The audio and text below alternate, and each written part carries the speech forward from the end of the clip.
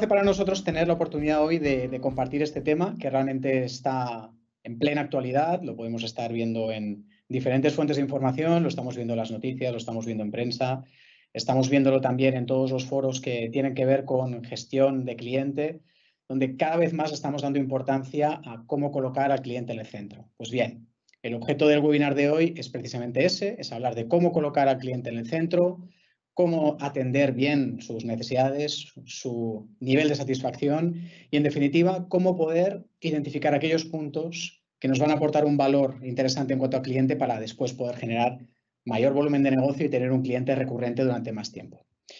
Yo soy Borja Martín, eh, dirijo el área de Insights dentro de Bismart. Eh, básicamente, durante los siguientes 45 minutos vamos a estar juntos en este webinar hablando de todos los puntos que comentábamos anteriormente y dejadme que os detalle básicamente cuál va a ser la estructura que vamos a tener a lo largo del webinar. Pues mirad, ahora mismo estamos en, en el comienzo. A partir de ahí vamos a estar hablando de elementos clave del Customer Journey. La idea es compartir durante unos minutos cuáles son las piezas fundamentales que dan lugar a este modelo por qué existe este modelo, en qué consiste, cómo nos ayuda. Después lo que haremos es eh, hacer una pequeña demostración de un modelo que hemos creado en Bismart a partir del Customer Journey. Vamos a demostrar cómo, por una parte, puedes tener el enfoque teórico, pero cómo lo puedes eh, vehiculizar a través de los datos, teniendo una solución muy simple que te permite acceder al cliente y reunir eh, en una misma suite visual toda esa información para poder gestionar perfectamente al cliente. Esto nos llevará unos 35 minutos en total para más o menos a las 18.35 poder tener preguntas, cuestiones, dudas que queráis plantearnos, unos 10 minutos hasta finalizar la sesión. En, este caso, ningún problema porque si quedase alguna pregunta por responder, si quedase algún punto pendiente en el tintero, lo haríamos a posteriori. No queremos irnos del, del tiempo pactado, queremos ser muy rigurosos con esto y lo contestaríamos a posteriori. También tened la certeza de que a partir de este momento Podéis eh, incluir vuestras preguntas, podéis hacernos cualquier aportación que queráis a través del chat. No estoy solo en este webinar, sino que también cuento con, la inestimable colaboración de Oliver, que va a estar ayudando y gestionando toda esta parte de preguntas. Así que, nada, vamos a comenzar y vamos a entrar en los puntos clave. Me gustaría hacer un breve inciso en, en quién es Bismarck, qué somos, qué hacemos, para todas aquellas personas que no nos conozcáis. Sé que dentro de de la audiencia de hoy. Hay personas que sí que nos conocen, hemos tenido la oportunidad de, colaborar con ellos, nos conocemos y, también son grandes amigos. Hay otros que no nos conocemos, es la primera vez que entramos en contacto. Bueno, Bismarck básicamente es una consultora que tiene base tecnológica, que tiene una mirada digital, que lo que pretende es ayudar a las compañías a través de sus datos a convertirlos en negocio. Ese es nuestro propósito principal como compañía. Em, el mundo del data ya sabéis que cada vez está creciendo más, cada vez hay más densidad digital. Todos esos datos nos deben servir no solo para ser más cultos, sino también para poder utilizarlos de una manera inteligente de cara a gestionar nuestro negocio. Eso es lo que hace Bismarck, básicamente. Ayuda a las compañías en dos grandes áreas. Una que es la puramente tecnológica, siempre con el enfoque datos. Es decir, ayudando a que a partir de todo el enfoque tecnológico, las compañías dispongan de la infraestructura, la mirada, la capacidad interoperativa de datos, eh, la capacidad de recoger datos de valor, de hacerlos conectables entre sí y luego, a partir de esos datos, poder visualizarlos y poder empezar a tomar decisiones de negocios. Es la segunda área de la compañía, es en, el área en el que yo me veo más ocupado y donde desarrollo básicamente mi, proyecto profesional dentro de Bismarck. ¿De acuerdo? Dicho esto, eh, dentro del área de negocio podemos detallaros que nos ocupamos de varios puntos. ¿no? Son varias las áreas de interés en las que estamos colaborando con nuestros clientes y estamos desarrollando proyectos de altísimo interés. Puede ser el Customer Centricity, es decir, ayudar a compañías a partir de sus datos a colocar al cliente en el centro, aprovechar toda esa información y aprovechar el conocimiento para poder mejorar la relación con los clientes. De ahí se deriva el Customer Experience, que es de lo que vamos a hablar hoy, es donde hoy vamos a hacer foco. El Customer Journey entra dentro de ese área de, actividad y, de, talento. Segmentación, es decir, poder ayudar a las compañías a segmentar a sus clientes a partir de la información que tenemos de ellos y poder tomar mejores decisiones en cuanto a productos y servicios. Una, mirada también importante hacia toda la estrategia y ciclo de vida de cliente, scoring de clientes. También ayudamos a eh, nuestros clientes a, desarrollar soluciones de cross-selling y upselling muy centradas en la optimización comercial. De hecho, hemos realizado algún webinar donde hemos estado hablando desde el punto de vista de ABC de clientes no directamente cross-selling y upselling, pero sí vinculado a ello con cómo poder implantar mejores estrategias en este sentido. Y luego también la parte de análisis predictivo de ventas. Digamos que estas son las principales áreas que estamos abordando en Bismarck desde el área de gestión de clientes y negocio. Y como os decía, nos vamos a centrar especialmente en la primera y en la segunda que veis en pantalla, a partir de la solución de Customer Journey. Eh, no me detengo más en este punto y pasamos ahora sí directamente a hablar del objeto de hoy, del Customer Journey básicamente como una herramienta que nos debe ayudar a mejorar la experiencia de nuestros clientes. Pensad que cuando hablamos de Journey hablamos de experiencia. Ahora entraremos en una definición, ahora enseguida veréis esta definición, pero eh, son dos elementos que correlacionan altísimamente. Utilizamos esta herramienta para optimizar, de entrada, conocer la experiencia de nuestros clientes y colocarlos en el centro de nuestra organización. ¿Cómo se vehiculiza todo esto? Pues mirad, Básicamente os voy a hablar de la génesis, es decir, de cuál es el objeto que da lugar al Customer Journey, de dónde parte, qué es, eh, qué debemos conocer. En, segundo lugar, hablaremos de las principales claves que vertebran este modelo. En tercer lugar, como os decía al principio de la sesión, me gustaría compartir la aproximación que hemos hecho como modelo desde Bismarck. Y por último, compartir una serie de ideas fuerza que serán como las grandes conclusiones antes de las preguntas que podáis formularnos y que darán cierre a, a esta sesión. Bueno, sin más, vamos al principio. Em, ¿Por qué es tan relevante trabajar sobre la experiencia de cliente? Pues mirad, eh, es relevante trabajar en la experiencia de cliente porque el 65% del negocio que tenemos en las compañías proviene de un cliente ya existente. Digamos que es la gran parte del foco de negocio, y eso ya es un gran qué. También porque em, vemos que hay una correlación altísima entre clientes satisfechos y clientes que acaban repitiendo, acaban relacionándose más con la compañía, acaban teniendo menos abandonismo. Ahora enseguida compartiré unos grandes números para, digamos, reflejar y aterrizar esto que estoy comentando ahora mismo. Pero el principal motivo es porque al final tener a un cliente contento, feliz y cómodo con la solución marca-producto que haya seleccionado es garantía de un cliente que va a hacer más negocio con nosotros, nos va a recomendar más y va a tener una relación más duradera. Comparto em, esta diapositiva, este dato que es interesante, eh, que proviene de un estudio que hizo PricewaterhouseCoopers, es un estudio reciente eh, a nivel mundial, exceptuando el continente eh, africano, donde preguntaban a miles de personas eh, cuando se trata de tomar decisiones de compra, ¿hasta qué punto es importante la experiencia del cliente para poder eh, decidir entre opciones? Disculpadme, es decir, yo como cliente tengo diferentes opciones para escoger sobre cualquier producto o servicio, es igual, independientemente de la categoría. ¿Y hasta qué punto pesa la experiencia para poder elegir la A, la B o la C? ¿no? ¿Cuánto pesa? Pues mirad, estamos viendo que pesa, en función del continente varía, pero pesa a unos niveles muy altos que están por encima del 70%. Si hablamos, por ejemplo, del continente americano, podéis ver que los números oscilan en setenta y tantos por ciento, ochenta y pico por ciento cuando hablamos de Centroamérica, Norteamérica estamos también hablando de setenta y picos por ciento. Es decir, es alto. Cuando nos vamos a Europa se acerca al 70%. Concretamente en España supera el 80%. Es decir, el peso de la experiencia a la hora de escoger entre una opción u otra es tremendamente alto. Además de ello, como os decía antes, os comparto algunos datos. Cuando un cliente tiene una buena experiencia de compra, aumenta el 50% su gasto. Pero es que además recomienda un 60% o por encima esa opción, producto, servicio o marca que haya escogido. Y es que además sus tasas de abandono bajan del 10%.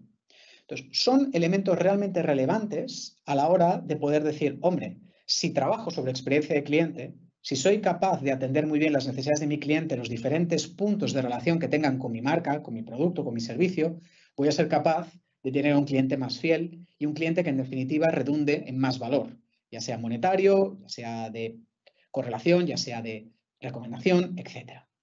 Todo esto da pie también a hacer una reflexión o alinearnos con esta reflexión que hace McKinsey, la consultora, desde el punto de vista de su Digital Labs, donde aquí lo que nos evidencia es que el hecho de poder tener en diferentes puntos de contacto, entendiendo punto de contacto cualquier interacción que podamos hacer o tener con un cliente nuestro, de las cuales abro paréntesis, muchas veces no somos ni del todo conscientes, hay algunos puntos de contacto que son conscientes para la organización, hay otros que no tanto.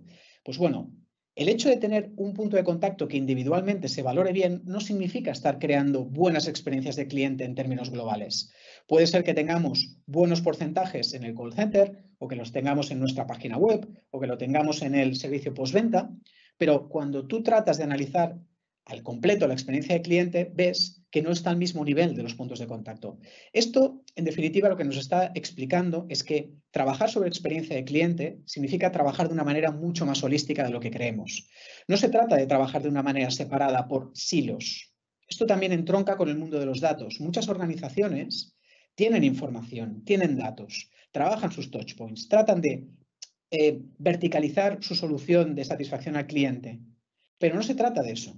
Se trata de no trabajar en silos, se trata de que no tengamos una compañía silos-centric, sino consumer-centric, colocando al cliente en el centro e incluso, si somos atrevidos, si somos capaces de desafiar las estructuras formales de la organización, incluso transformando nuestra organización ya en última instancia.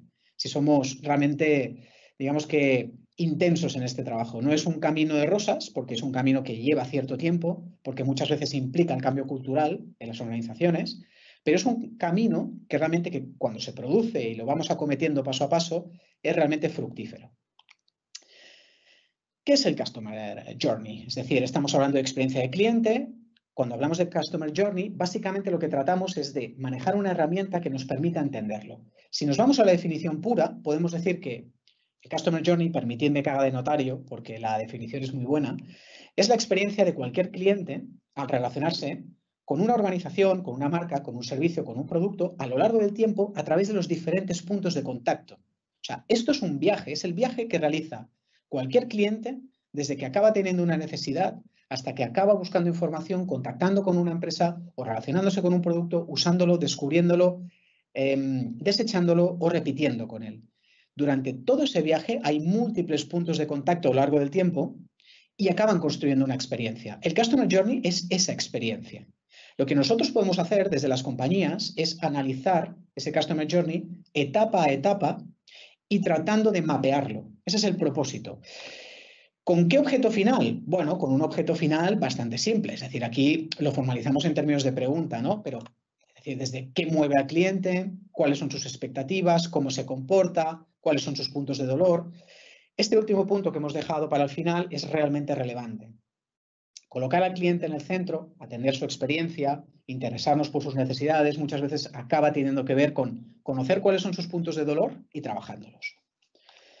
Em, ya conocemos lo que es el Customer Journey desde un punto de vista de definición. Dejadme que comparta una serie de premisas para ir asentando el modelo, ¿eh? para ir poniendo piedras en este camino de cara a conocer el modelo Customer Journey de mejora de experiencia del cliente. La primera premisa es, siempre se construyen los journeys con una mirada de fuera hacia adentro. ¿Qué significa esto? Al explicarlo es muy sencillo, es decir, colocar al cliente en el centro y tratar de conocer su experiencia significa ponernos en sus zapatos. No significa decir, vamos desde dentro de la compañía a tratar de imaginarnos cómo el cliente siente eh, que se relaciona con nosotros o cómo vive nuestro producto. Sin ir más lejos, el otro día estaba hablando con un cliente que nos decía que quiere cambiar todo su modelo de relación de la compañía porque compañeros, compañeras de su departamento dicen que ya son absolutamente conocedores de cuáles son las necesidades de un determinado cliente. Y ella tiene dudas, en este caso nuestra clienta tiene dudas de que sea así. No pone en duda el conocimiento y la experiencia de sus compañeros, pero sí que tiene como mínimo la certeza de que si pone al cliente en el centro y escucha al cliente hablar sobre qué valora y qué no valora, o qué valora más y qué valora menos, le servirá para construir mejores experiencias, para invertir el dinero en packaging o para invertirlo en un call center o para invertirlo en un argumentario comercial que ponga en valor determinados puntos y desestime otros. Siempre mirada de fuera hacia adentro. Segunda premisa. Como hemos dicho ya en varias ocasiones desde que hemos comenzado el webinar, aquí lo que se trata es de mejorar la experiencia. El propósito final es de mejora de la experiencia y, por tanto, mejora de la relación con nuestros clientes. Tercera premisa. Siempre acaban armándose sobre buyer persona. ¿Qué es un buyer persona? Es un arquetipo deseado de cliente. Es decir, un customer journey, el análisis de ese viaje que hace el cliente a lo largo del tiempo a través de su relación con un producto, con un servicio, con una marca en los diferentes touchpoints, siempre se va a hacer sobre un arquetipo determinado de cliente. Es decir, definiremos cuál es el segmento objetivo que nos interesa, con sus características sociodemográficas, con sus características emocionales, con su definición en relación con nuestro producto o servicio. Es decir, haremos una definición completa, muy holística también, de ese segmento objetivo Si son empresas, pues empresas. Si son particulares, particulares. Concretando muy bien sobre qué cliente vamos a trabajar. Y para ese cliente haremos su journey. ¿Significa esto, lo cual es una pregunta recurrente, que una compañía tiene más de un journey? Correcto. Normalmente se suele tener más de un journey porque se suele tener más de un segmento objetivo. Con lo cual el trabajo siempre eh, tendrá la siguiente secuencia. Primero se definirán los buyer persona o segmentos objetivo deseados y a partir de aquí se desarrollará el journey correspondiente a cada uno de ellos o de ellas. Y cuarta premisa. El Customer Journey siempre se monta sobre dos principales ejes. Hay un eje de trabajo que tiene que ver con el embudo de compra o conversión y otro con la experiencia. Dejadme que haga un poquito de zoom en este punto y os lo represente gráficamente. El primer eje, como os decía, es el embudo de compra, embudo de venta o conversión.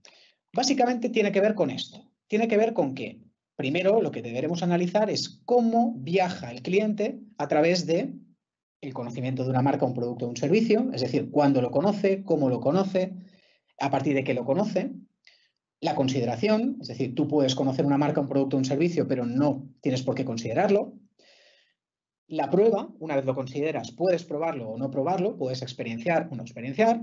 La repetición y la lealtad. Esto funciona como un embudo. Cuanta más gente tengas en conocimiento, más probabilidades tendrás de gente que te considere, que te pruebe, que te repita y que se quede contigo para toda la vida. Esto es lo que conocemos como el embudo de venta o embudo de conversión.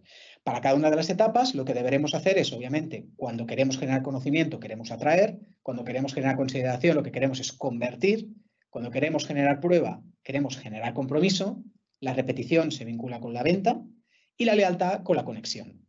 En cada etapa generaremos diferentes tipos de acciones, pero para ello antes deberemos conocer porcentualmente cuál es el peso y cómo viven, cómo viajan por cada una de las etapas estos clientes, estos buyer personas de los que hablábamos enseguida.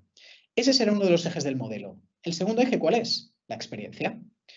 Iremos pasando por cada etapa como clientes e iremos viendo para cada etapa y para cada cliente cuáles son sus necesidades y objetivos. Por ejemplo, cuando está en la etapa de consideración, qué necesidades y objetivos quiere cumplimentar en esa etapa. ¿Qué punto de contacto ha seguido, ha utilizado? ¿Qué expectativas tenía? ¿Cuáles son los pain points que tiene en esa etapa? También, ¿cuál es la experiencia que está viviendo? Al final, lo que haremos es cruzar ambas cosas, el eje del embudo de venta con el eje de experiencia. Y con ello tendremos construido el modelo. Digamos que si lo hacemos a nivel de matriz de doble entrada, sería algo muy parecido a lo que veis ahora mismo en pantalla. Este es el modelo de Customer Journey, donde a nivel de eje, en este caso, en las filas, podéis ver que tenemos conocimiento, consideración, prueba o experiencia, repetición y lealtad.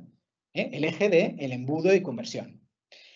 Y en el eje de las columnas, lo que tenemos básicamente son los puntos de experiencia. Qué necesidades y objetivos dieron lugar a cada etapa, qué acciones se ha llevado a cabo por parte del consumidor, qué puntos de contacto ha utilizado, expectativas, etc. Dejadme que le preste especial atención a las dos últimas etapas, es decir, cómo influir y también qué oportunidades de mejora tiene. Digamos que hasta la experiencia, todo eso es información que tenemos que recabar del consumidor con esa mirada que os proponía antes, de fuera hacia adentro. ¿sí? Las dos últimas etapas son etapas que tenemos que ser capaces de construir desde nuestra acción. Si somos realmente buenos, si tenemos la habilidad como para completar bien todas las etapas del eje vertical y horizontal, tendremos la capacidad, a su vez, de poder crear buenas propuestas de valor en cada etapa para que el cliente vaya avanzando, que pase de conocimiento a consideración, de consideración a prueba, de prueba a repetición, de repetición a lealtad y nos acabe recomendando. Eso va a hacer de una manera absolutamente deliberada que el cliente mejore su experiencia y nos dé muchas más oportunidades de quedarse con nosotros y ser ya no solo un cliente al final del modelo, sino un activo que nos recomiende y que trabaje para nosotros. Ser alguien fiel y realmente interesante desde el punto de vista de cash o de dinero que acaba dándonos, como también de generación de otros clientes. Pues bien, ahora ya conocéis el modelo, ahora ya lo tenéis, ya tenéis las premisas, ya tenéis las dos principales partes que lo acaban componiendo. ¿eh? Tenéis vertebrado, digamos que todas las funcionalidades que, dan lugar.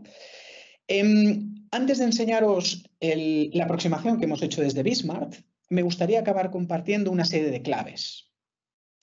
Y las voy a representar en, este gráfico de círculos. ¿no? Em, básicamente lo que quiero es poneros encima de la mesa los elementos realmente relevantes cuando pones en marcha esto en tu organización. Lo primero son los objetivos. Es muy complicado poner en marcha un Customer Journey dentro de tu organización para mejorar la experiencia del cliente, con un propósito último, que es colocar al cliente en el centro, si no tienes muy claros los objetivos que persigues a nivel de negocio. Eh, cuando hablamos de objetivos, hablamos de objetivos que tiene ese journey a nivel de ¿para qué lo voy a utilizar? ¿Lo quiero para mejorar la experiencia? Por ejemplo, puedo hacer un journey para mejorar la experiencia global de mi cliente. ¿Lo quiero a nivel de objetivo de negocio para mejorar procesos o para identificar procesos que no funcionan, que son muy lentos, que son farragosos, que han quedado obsoletos? ¿Lo quiero para realmente aplicarlo en criterios de innovación? Es decir, voy a hacer un journey para identificar posibilidades de innovación en producto, en servicio, en procesos. ¿Lo voy a hacer para optimizar, para mejorar algunos de los puntos de contacto? Esto es algo que realmente tenemos que tener muy claro antes de empezar nuestro Customer Journey. Y esto entronca directamente con los objetivos de negocio es algo que tenemos que definir previamente antes de entrar en buyer persona y customer journey, como habíamos dicho anteriormente. ¿Para qué lo necesito? Em, podéis pensar también que este tipo diferente de enfoques que se le puede dar al journey son compatibles entre sí, es decir, no necesariamente siempre tienen que ser de experiencia o solo tiene que hacerse uno a la vez, se pueden combinar. Podemos estar haciendo un customer journey con el propósito de mejorar nuestros procesos y a la vez de innovación. Se trata, obviamente, de analizar cuáles son los objetivos que tiene la compañía que va a realizarlo y ponerlo en marcha. ¿De acuerdo? Esta es el, una de las primeras claves relevantes a tener en cuenta. La segunda son los datos. Ahora mismo eh, estamos ante la posibilidad de establecer un matrimonio magnífico entre colocar al cliente en el centro y hacerlo a través de los datos. Nunca antes habíamos tenido tantos datos a nuestra disposición, tanta capacidad de computación, tanta capacidad de análisis de una manera realmente económica. Em, y podemos realmente casar ambas cosas. A través de la analítica de datos, poder conseguir que estos objetivos que nos hayamos fijado de optimización de cualquiera de los cuatro puntos anteriores sean una realidad. Pero para ello tenemos que atender muy bien a qué nos referimos cuando hablamos de datos. Bueno, hacer un journey significa trabajar con datos empezando por el equipo interno de la organización. Es decir, lo que nosotros llamamos diagnóstico de los inspiradores basarnos en la inspiración de gente que ya está trabajando con cliente, que lleva tiempo en la organización, que la conoce, que tiene cierta inercia y que nos puede volcar información muy relevante a la hora de construir un journey y poder enfocarlo correctamente. Cuando ya hemos trascendido esta primera etapa a nivel de dinámica de proyecto, se puede trabajar con fuentes orgánicas de información que tengáis en vuestros CRMs, en vuestros RPs de la organización, que estén como un silo en un área, ¿no? Porque resulta que hicimos una promoción y tenemos datos y nos dieron eh, datos cualitativos y los tenemos. Em, es decir, las fuentes orgánicas nos van a poder servir perfectamente para empezar a construir el journey. ¿Son las únicas? No, también podemos utilizar fuentes externas. A través del market research podemos utilizar algunas preguntas muy sencillas que nos permitan medir cuál es la satisfacción y cuál es el valor que se le está dando a cada punto de contacto o a la experiencia en general que vivimos con una marca. ¿De acuerdo? Estos datos pueden ser cualitativos y pueden ser cuantitativos. En tercer lugar, el modelo. Eh, a nivel de modelo, tiene que ser sencillo, visual y holístico, como comentábamos anteriormente. No podemos trabajar con un modelo de Customer Journey tremendamente farragoso. Tiene que ser algo muy simple, muy visual y que atienda a las necesidades de diferentes stakeholders de la organización, la parte directiva, la parte funcional, eh, colaboradores externos si nos, nos parece relevante compartir cierta información. Es decir, no convertir esto en algo absolutamente hermético, sino que realmente sea una herramienta de uso dentro de la organización. Y luego a nivel de métricas. Es el cuarto punto, realmente relevante y es una de las claves relevantes. ¿no? Cuando hablamos de métricas hablamos de fijar métricas dentro del modelo de Customer Journey vinculadas a negocio, porque como podéis ver, siempre estamos pensando en que esto redunde en miradas de negocio y en resultados de negocio, que trabaje por etapas de venta, en las diferentes etapas del Customer Journey a nivel de embudo de conversión de venta, que analicen también por touchpoints los diferentes puntos de contacto y no nos descuidemos, entendiendo que ahora mismo los clientes quieren vivir una experiencia omnicanal y omni eh, punto de contacto, y que haga mucho foco en los pain points, en los elementos que le molestan, en aquellas piedras que le rozan en el zapato cuando camina, en todo aquello que no está bien resuelto y que resolviéndolo podemos aportar muchísimo más valor. Sin más, viendo esto, dejadme que lo resuma en cuatro principales puntos. El primero es que cuando estamos hablando de objetivos y datos, hablamos de negocio. Cuando hablamos de datos y modelo, estamos hablando de calidad. Cuando hablamos de modelo y de métricas, en definitiva, estamos pretendiendo generar acciones. Y cuando hablamos de métricas y objetivos, tenemos que ir a redundar a KPIs que vuelvan a hacer comenzar todo esto. Esto es una rueda que no para. Esto no es un cuadro que pintamos un día y dejamos colgar una pared y nunca más se retoca. Esto es algo que continuamente está en marcha y supone una rueda de engranaje dentro de la organización para que no pare de mejorar y optimizar y acompañar a sus clientes. Me gustaría, llegados a este punto, eh, compartir el modelo que hemos trabajado desde, desde Bismart. Em, permitidme que cambie de pantalla y os comparta, en este caso, el modelo, que yo creo que va a ser interesante que veáis. No vamos a entrar en profundidad porque simplemente de lo que se trataría es de que vieseis los grandes trazos de este modelo que conozcáis cómo hemos trasladado todos estos factores desde el punto de vista de eh, mirada de negocio, desde el punto de vista de claves, desde el punto de vista de definición de cómo se construye el modelo, lo hemos trasladado a una solución creada en Power BI de una manera sencilla, de una manera muy visual y utilizando datos que puede tener cualquier cliente dentro de su organización y si no los tiene, se pueden crear, se pueden generar para construir este modelo. Bueno, básicamente Em, se trata de un modelo que lo vamos a mostrar en cuatro principales bloques. Uno es el de funnel o embudo de conversión, lo hemos visto anteriormente. El segundo será el mapeo directamente de la experiencia, es el segundo eje del que hemos hablado. Y después añadiremos algún tipo de métricas y KPIs. Hablaremos del NPS, que es el Net Promoter Score.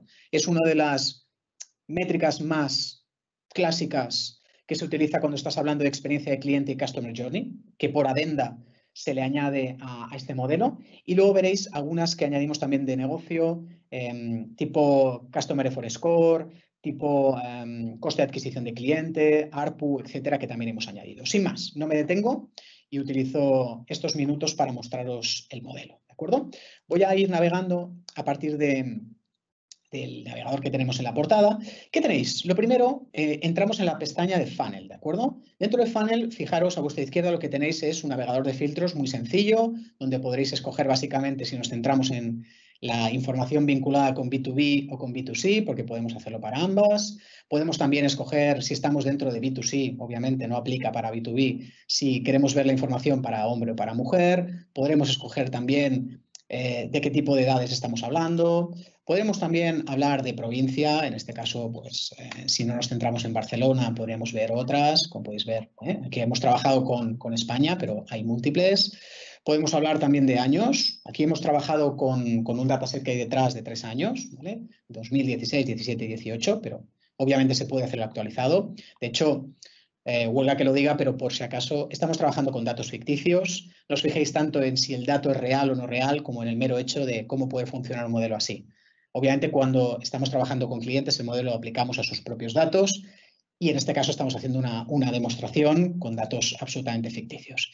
Y luego podemos hacer lo mismo con producto. También podemos escoger por tipo de producto. Aquí lo hemos llamado producto 1, 2, 3, hasta 5. ¿De acuerdo? Vamos a, a la derecha. ¿Qué tenéis? Pues aquí lo que tenéis es el funnel de conversión. Era uno de los ejes que hemos compartido anteriormente. De hecho, lo que podemos ver es del total de clientes que pueden haber contactado con nuestra marca, solución, producto servicio, cuánto realmente hemos generado notoriedad. Nos basamos aquí en el tooltip y podemos ver ya no solo que han sido 1.199 clientes los que han establecido algún tipo de contacto que eh, nos arroja que han tenido notoriedad acerca nuestro, sino que también podemos ver cuál es la pérdida de cuota que vamos estableciendo respecto a la etapa anterior. Por ejemplo, respecto al total de clientes, aquí vemos que hemos perdido 401 y que eso supone una pérdida de cuota del 25%. Es decir, de la totalidad de clientes con las que habíamos pretendido impactar, hay un 25% que no hemos impactado. De estos que hemos impactado, ¿con cuántos, ¿con cuántos hemos conseguido consideración? Pues con 1.000, ¿no? Hemos perdido 199, eh, nuestra pérdida de cuota es del 16%, nuestra lealtad del 83%, que es lo que veis dentro del paréntesis, dentro de la propia barra. ¿De acuerdo? Lo mismo vamos haciendo para compra y vamos bajando en el funnel hasta que llegamos al final. Aquí podemos deducir que es un funnel muy equilibrado en el sentido de que esta marca ficticia o este producto o este servicio trabaja muy bien las etapas. No pierde mucha eh, cuota de etapa a etapa. Podemos ver que realmente cuando consiguen contactar con un cliente, consiguen arrastrar muy bien a ese cliente, una gran parte de los clientes de etapa a etapa. ¿Qué tenéis a la derecha? A la derecha lo que tenéis es el nivel de satisfacción que tiene ese cliente por cada una de las etapas, por la etapa de awareness, de consideración, de compra, de repetición y de lealtad. Aquí podemos verlo clasificado en estas diferentes leyendas, es decir, hasta qué punto está muy satisfecho o está poco satisfecho. Podemos ver también el evolutivo que sigue un cliente, como podéis ver, a lo largo de las diferentes etapas. Y también podríamos llegar a ver, si nos situamos encima de cualquier cifra o valor, cuáles son los comentarios en cuanto a satisfacción que tiene el cliente. Aquí no hemos incluido ningún eh, comentario en concreto por el mero hecho de que, es eh, una demostración y no hemos querido utilizar comentarios reales, pero podéis ver que, por ejemplo, el cliente 237 podría decir que en el punto de lealtad no está realmente contento y que eso se debe a que hizo tres llamadas a la compañía para que le arreglasen un desperfecto que tenía y tardaron mucho en acudir. Esto lo podríamos ver perfectamente aquí situándonos en este punto, ¿de acuerdo? Con lo cual, aquí lo que tenemos es el nivel de satisfacción para cada una de las etapas que hemos visto en el funnel o embudo de conversión. Además, tenemos la información por producto destacada, pese a que la podamos filtrar por aquí, igual que el género, que lo tenemos aquí, también lo podemos trabajar a nivel de información directamente vista en la pestaña. Ahora se trata de interactuar, es decir, no solo se trata de trabajar con tooltips, sino que, por ejemplo, si nos situamos dentro de consideración, vamos a filtrar toda la información que aquí está dentro, es decir, estos mil clientes, cómo se comportan a nivel de eh, satisfacción en su etapa de consideración, qué tipo de productos porcentualmente están trabajando en cada uno de esos tipos de producto y cuántos hombres y mujeres hay. ¿De acuerdo? De nuevo, podríamos hacer lo mismo con cada etapa. Si nos interesase situarnos aquí, pues veríamos concretamente dentro de este punto cuántos clientes en consideración responden, ¿de acuerdo? O si nos situamos aquí, podríamos hacer lo mismo en esta etapa. O si nos situamos en este punto de satisfacción, lo mismo para este. ¿Queremos ver la información por producto? Bueno, vamos a ver qué ocurre con el producto 2. Vamos a filtrarlo todo por el producto 2. Aquí vemos que en base a la satisfacción y las etapas, hay 492 clientes que han interaccionado con el producto 2 en cada una de las etapas, ¿de acuerdo? Con lo cual podéis ver que esto es completamente navegable y que lo podemos ir em, manejando a nuestro antojo en pro de buscar la información que realmente nos interese ya en esta primera etapa de funnel. Hemos añadido una funcionalidad más que yo creo que es interesante, que es la comparativa. Si podéis ver aquí, tenemos un botón que nos permite activar y comparar. Aquí que vemos, voy a quitar un filtro que tengo activado aquí, que es el de Barcelona. Digamos que en igualdad de condiciones, sin tocar ambos filtros, podríamos ver cómo se compara, en este caso, uno con otro. Pues podemos comparar B2B, por ejemplo, y podemos comparar B2C. ¿Qué pasa? Pues nos cambia, como podéis ver, el funnel y nos cambian aquí los puntos de experiencia, perdón, de satisfacción, que también podríamos hacer de otra manera, ¿no? Podríamos hacer, pues aquí también trabajar con B2B, ambos B2B y entonces, pues no lo sé, eh, comparar en este caso 2016 con 2017, eh, por ejemplo. De nuevo tendríamos la comparativa, ¿de acuerdo? De nuevo podemos navegar, seleccionar, etcétera. ¿De acuerdo? Esto es en lo que respecta a las funcionalidades que hemos trabajado en esta primera pestaña que hace referencia a funnel, que insisto, primer eje del modelo. Em, nos vamos a la parte de map. ¿De acuerdo? En la parte de Map, ¿qué hemos incluido? Lo mismo, los filtros los tenéis, no me voy a detener en ello, ya sabéis que están perfectamente activos para los utilizando. Lo que vamos viendo es la experiencia que vive el cliente, este estamos en el eje experiencia, en la fase de awareness, consideración, etc. ¿Qué ocurre si nos situamos encima? Vamos a ver cuál es la satisfacción que tenemos por touchpoint y también cuál es el nivel de experiencia en base a si ha sido excelente, neutral, positiva, negativa, en un eje que va del 0, perdón, del 1 al 5, siendo 1 muy negativa y 5 muy positiva. En base a ese eje podéis, podéis ver esta cara contenta cómo se reparte. Lo mismo va a ocurrir con cada etapa. Y vamos a poder ver cuál es el touch point con el cual están relacionándose en cada una de estas etapas. ¿De acuerdo? De modo que estamos incluyendo todos esos ejes de los que hablábamos anteriormente en el modelo. Si recordáis el modelo que antes mostrábamos a nivel de tabla, aquí lo estáis pudiendo ver a nivel visual a través de un dashboard muchísimo más manejable y que nos permite, digamos, en una mirada muy rápida poder tomar decisiones. ¿De acuerdo? ¿Qué tenemos debajo? Básicamente lo que tenemos es una métrica que se llama Customer Effort Score, es decir, cuán fácil o difícil se hace por parte del cliente relacionarse con un punto de interacción con la marca. Imaginemos que nosotros eh, tenemos un supermercado, ¿no? y resulta que las colas son demasiado largas porque hay pocas personas en la caja para poder cobrar. Ahí podríamos tener un punto de contacto, un punto de relación con esa marca de supermercados, donde no sea satisfactorio y el esfuerzo que existe a la hora de comprar y acabar pagando es demasiado alto. El cliente nos puede explicar cuál es el esfuerzo que establece en cada punto de contacto que tenga con nosotros. La idea es recogerlo, como hemos hecho aquí, entender cuál es el esfuerzo que tiene en cada punto del ciclo, en la parte de awareness, en la de consideración, en la de prueba, repetición y loyalty. De modo que podemos ver de nuevo cómo va evolucionando esto. Aquí, pues de nuevo, si por ejemplo seleccionásemos a la gente de 31 a 40, pues nos cambiaría la experiencia, nos cambiaría el Customer Effort Score que tiene y cómo va oscilando. ¿De acuerdo? De nuevo, em, en este sentido, también hemos añadido los pain points de los que hemos hablado anteriormente. Poder ver cuáles son los pain points que tenemos, por ejemplo, en este caso para el producto 2, o que, por ejemplo, podemos tener si nos centramos en B2C, ¿De acuerdo? O que tenemos, por ejemplo, si en vez de mirarlo por 31 a 40, pues lo miramos por 51 a 60. Entonces, aquí podemos ver de nuevo cómo van evolucionando estos diferentes puntos. Aquí, pensar que lo podemos hacer más grande, mostrarlo como tabla y lo podemos ver en más detalle y ver cómo evoluciona, ¿de acuerdo? Siempre todos los gráficos los tenemos ampliables, de tal modo que podemos bucear de una manera más cómoda. Podemos ver aquí con estas diferentes posibilidades de pain points, que en este caso son ficticias, son puntos que cliente nos ha declarado en los que sufre y no está cómodo. ¿De acuerdo? Los podemos ir midiendo y podemos ir viendo cómo evolucionan a lo largo de la etapa. Esto es el mapping que hemos creado para seguir explicando ya no el eje solo de ventas, sino también el de experiencia. ¿Qué le hemos añadido? hemos añadido, para seguir conociendo la experiencia del cliente, un módulo de NPS. NPS básicamente lo que nos explica es cuántos promotores tenemos de nuestra marca, cuántos pasivos dentro de nuestros clientes y cuántos detractores. Simplemente realizando una fórmula nos presenta cómo va evolucionando. Es diferente, por ejemplo, si lo hago para B2B.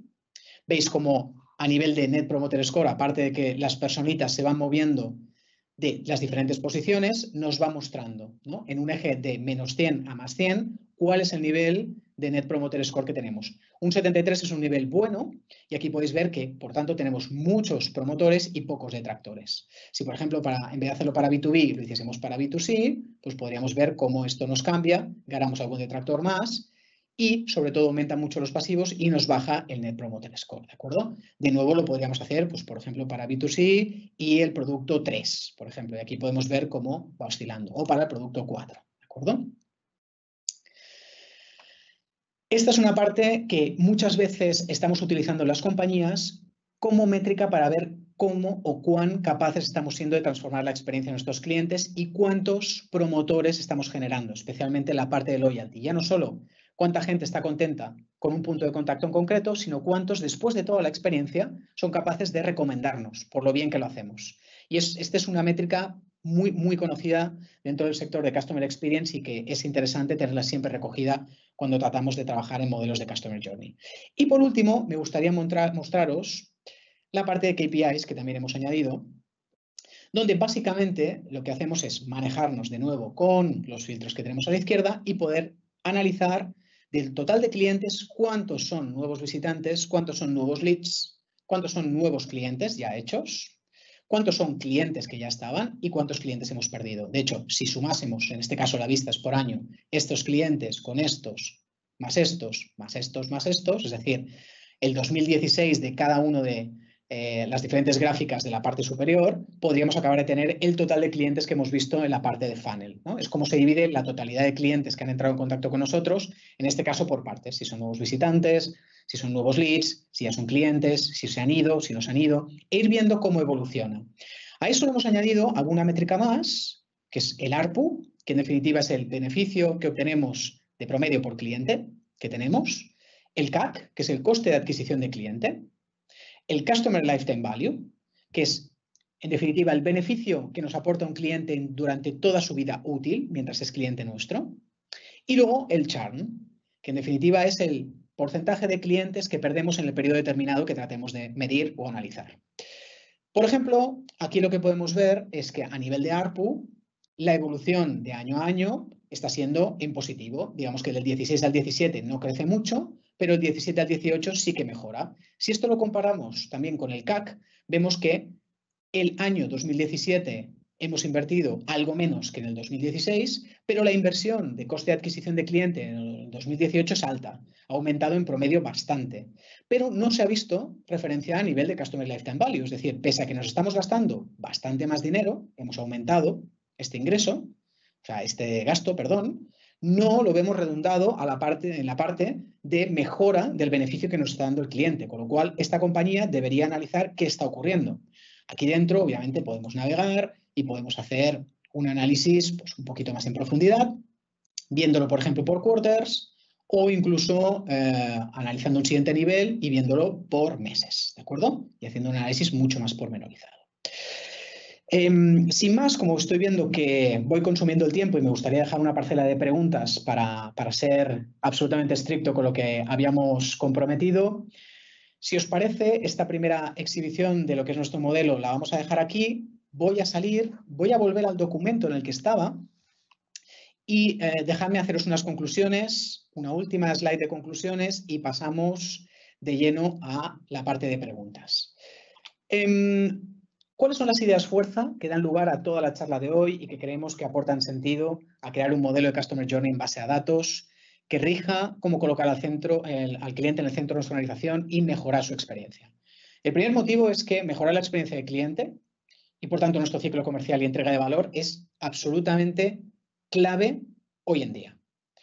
El segundo factor o idea fuerza es que desde el mismo momento que se pone en marcha este tipo de modelos, obligan a la organización a pensar en cliente, lo cual muchas veces desde un punto de vista cultural es muy interesante.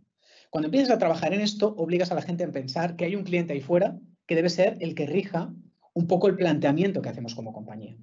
En tercer lugar, ayuda a reordenar los procedimientos de la organización y a estresar los silos de los que hablábamos antes. No trabajar con silos, sino trabajar de una manera mucho más orgánica y mucho más, como se dice en inglés, cross-functional, que los diferentes departamentos no sean departamentos verticales, sino mucho más horizontales. Optimiza el trabajo de la organización y elimina trabajos, touch points, esfuerzos innecesarios e ineficientes ayuda a identificar oportunidades de negocio. En el sexto lugar, eh, diríamos que hace pensar que la mirada omnicanal es relevante, pero que la mirada omni-experiencia lo es mucho más hoy en día, y ya no hablemos en esta etapa post-COVID o COVID, teniendo en cuenta los rebrotes. Y por último, y en séptimo punto, entrena a la organización a trabajar con datos, lo cual es tremendamente relevante, ya que debe actualizar y por tanto debe empujar el hecho de estar cerca del cliente, preguntarle, constantemente atenderlo y vivir muy cerca de ello, lo cual retroalimenta el modelo y hace que tengamos una organización absolutamente sana. Sin más, eh, a nivel de contenidos, esto es lo que queríamos compartir con vosotros hoy. Ahora sí que os agradecemos muchísimo la atención